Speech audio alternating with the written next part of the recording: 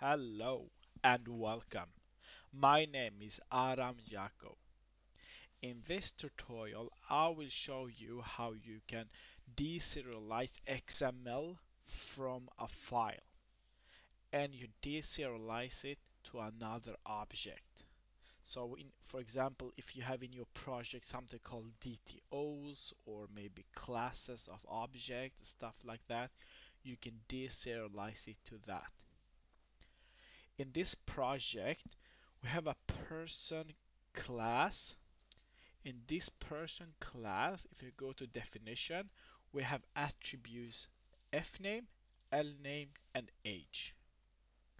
Uh, this one belongs to the previous tutorial, so if you haven't seen how to serialize to XML, I will include the link to that video in the description, but I will remove it now. So we have our class person with fname, last name or lname and age. And here we are defining, yeah, we don't need it. This also belongs to the previous tutorial. We are defining a list of person here.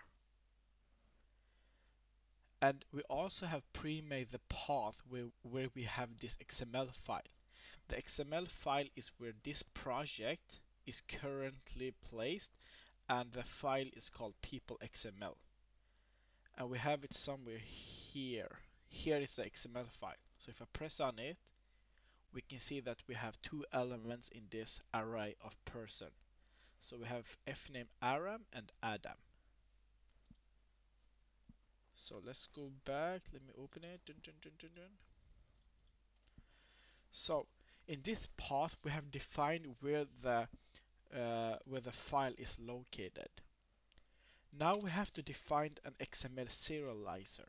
So we do XML serializer. We call it XS is equal to new XML serializer. And then we have to define what type should it serialize it to. So we should serialize it to type of, and the type of class serialize it to is first of a list of class person. So now when it tries to serialize XML, it will try to bind the data to a list of class person.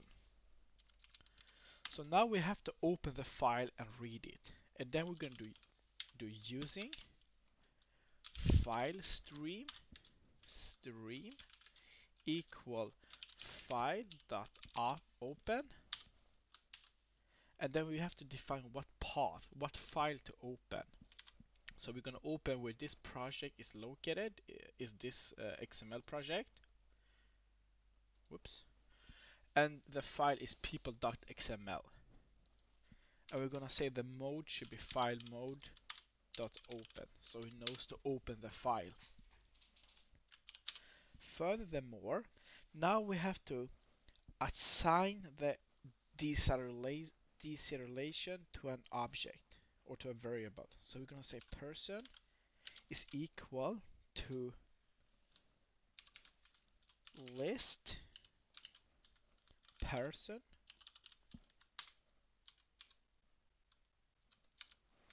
xs dot deserialize and we're going to deserialize this stream. So let's see. We are here. Why are you complaining? Bum bum bum. Expect oops I missed one of these. Perfect. So now this code will it will deserialize this stream to type of list person and assign it to this variable here. So let's see this in action.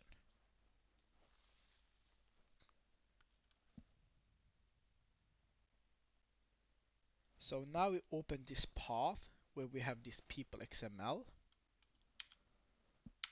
and this person is currently an empty object or empty list to say and now it will deserialize this stream so if I press F10 now if I go to the person it has read the XML file and it has deserialized the data so as we can see here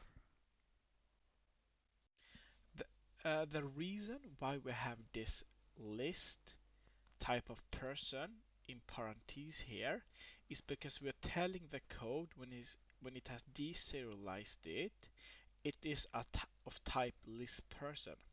And then you can wonder, but why do we tell the XML serializer that it should serialize it to type of list person?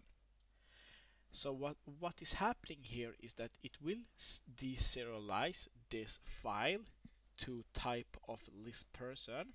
However, we cannot, if we remove this part of the code, we will get an error here.